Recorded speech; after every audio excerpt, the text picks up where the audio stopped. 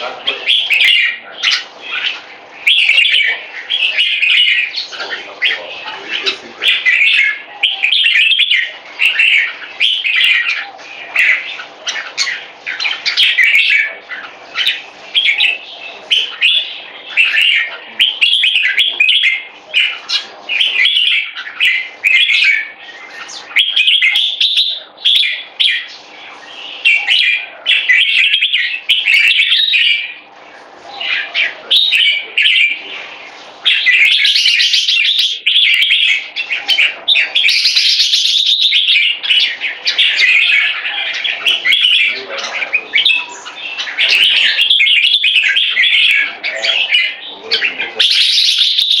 I'm going to go to the next slide.